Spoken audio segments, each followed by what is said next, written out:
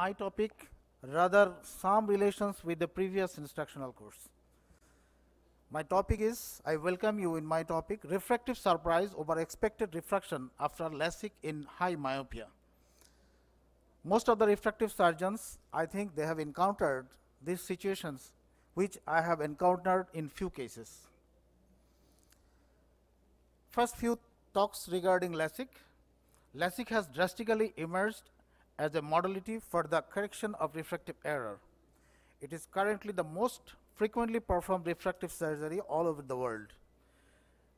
Expectations are growing high and high. Moreover, results are excellent. In most cases, LASIK provide expected magic vision.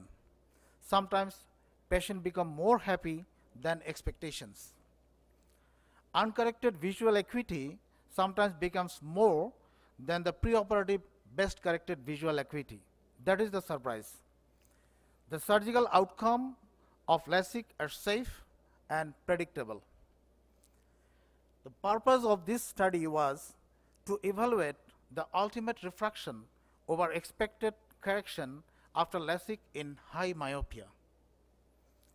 We conducted a retrospective review of case notes and patient's opinion for ultimate refractive status in post-LASIK patients by multiple surgeons between July 2016 and June 2018. Our main outcome measures were preoperative refraction, corneal thickness, and postoperative refraction, and corneal thickness and dry eye. Follow-up period was first day, first week, first month, three months, and six months. You see, this is one of the scenario all of you know, the very early stages of LASIK. Most of the cases nowadays, it has superseded by so many modern procedures. So I don't want to go for the details of this one. Improvement of visual acuity in logmar after six months. You see, pre-operative best corrected visual acuity was 0.3 and postoperative uncorrected visual acuity was 0.18. And this is another picture showing the animation of modern refractive surgery that is femtosecond laser assisted LASIK. A total of 46 eyes of 24 patients were included in this, in this study. Among those, 8 patients showed refractive surprise. The mean age was 24. All patients had uncomplicated LASIK surgery. Mean preoperative best corrected visual acuity was logmar 0.3 with mean corneal thickness of 526 micron. Range of refractive error was minus 8 to minus 11 with some portion of astigmatism. Among 46 patients, eight patients underwent undercorrection due to the thin cornea. I repeat, the corneal condition was not suitable to perform the full correction. And these eight patient reveals postoperative better uncorrected visual acuity than preoperative BCVA. And that was the surprise. Actually, in this, those cases, I will show two of the case, case report. We offered that we cannot go for the full correction. Your corneal thickness doesn't permit. And we offered them for the alternate options like phakic IOL or clear lens extraction but the patient did not accept none of them. They offered they were convinced to do the LASIK and they ultimately agreed to do go for the undercorrection Mean postoperative uncorrected visual acuity at 6 months was logmar 1.18 and mean corneal thickness was 346. I repeat, I am a little bit conservative regarding the residual corneal thickness. Significant dry eye was persist after 6 months in 8 which was treated with artificial tear. Corneal haze was in one case which was not clinically significant. This is case number 1 this patient was a corporate executive lady. Her refractive error was minus 8.75 with cylinder 1 and in the left eye minus 9.25 and best corrected visual acuity was 6.9 and 6.12 respectively and her pachymetry was 524 K1 and K2 accordingly. This patient I offered that I cannot go for the full correction.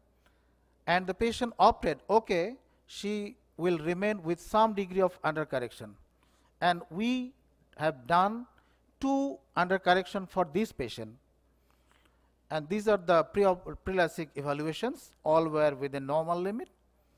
And what happens actually post-operatively you see uncorrected visual acuity was 6.9 in right eye and 6.12 in the left eye the we, uh, we, we told that you will remain minus 2 after correction and your visual acuity may be 636 or 660 like that. But uh, surprisingly, her visual acuity was such and she is doing well. She is very happy.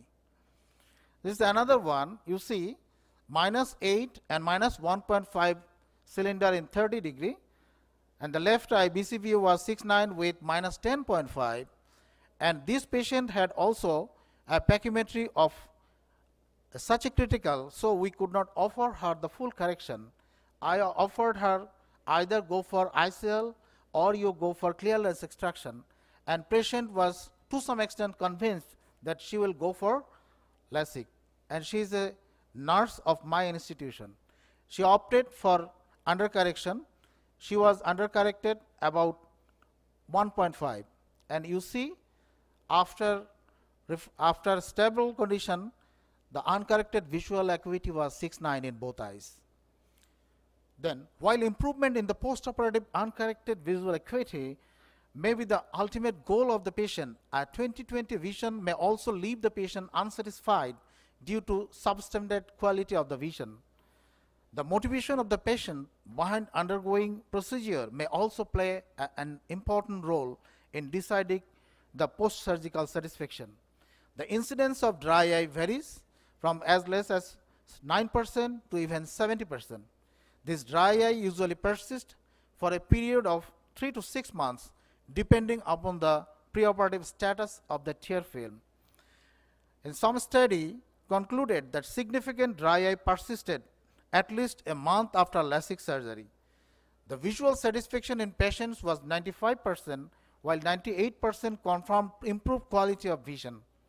A literature search was conducted retrospectively from 1988 to 2008 by Solomon et al. regarding the outcome of LASIK. Out of 16.3 million procedures performed worldwide, worldwide 95.4% of the patients were satisfied after the surgery. Night vision problem and glare and halos is a common for dissatisfaction Parallel results was encountered in other studies also. So, major of the, majority of the patients were highly satisfied in terms of functional gain and visual outcome after the procedure after LASIK. Undercorrection due to corneal thinness may also provide better output.